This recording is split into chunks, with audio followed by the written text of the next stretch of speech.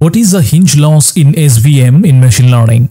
The hinge loss is a loss function used in support vector machine algorithm for binary classification programs. And this hinge loss is a very specific type of cost function that incorporates a margin or distance from the classification boundary into the cost calculation.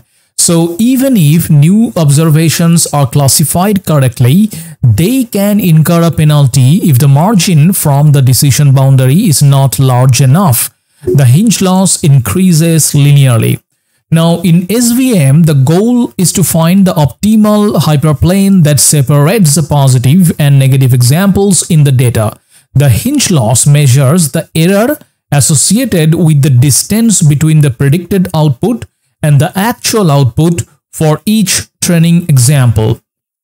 Now mathematically the hinge loss is represented as follows that is the loss function is equal to max of 0 and then 1 minus y times fx where y is a true class level that is plus 1 on minus 1 and fx is the predicted output for the given input x and max of 0 and the second element is a hinge function.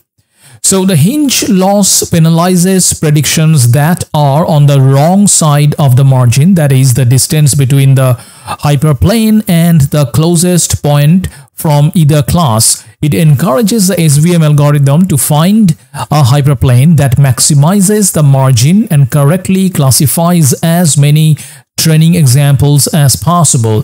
The SVM optimization problem involves minimizing the sum of the hinge loss over all training examples subject to a constraint on the margin.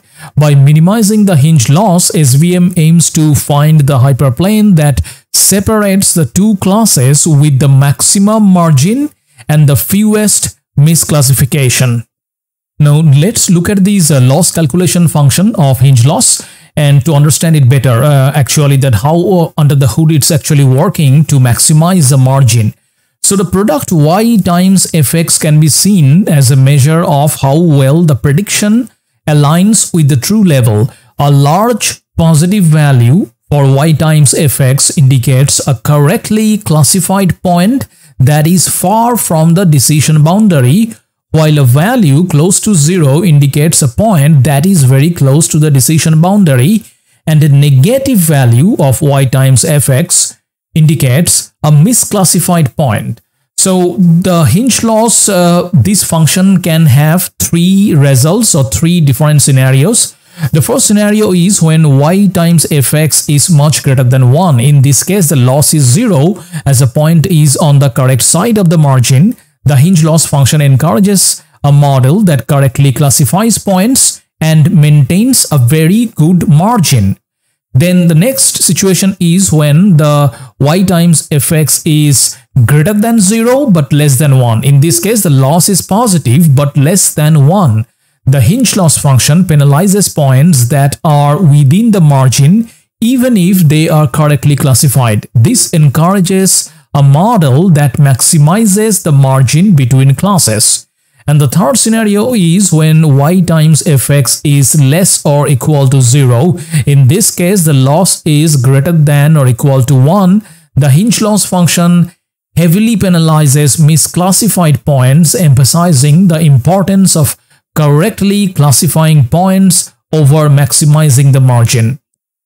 And now let's uh, investigate the hinge loss plotting and it's a classic image that you will see in many literature.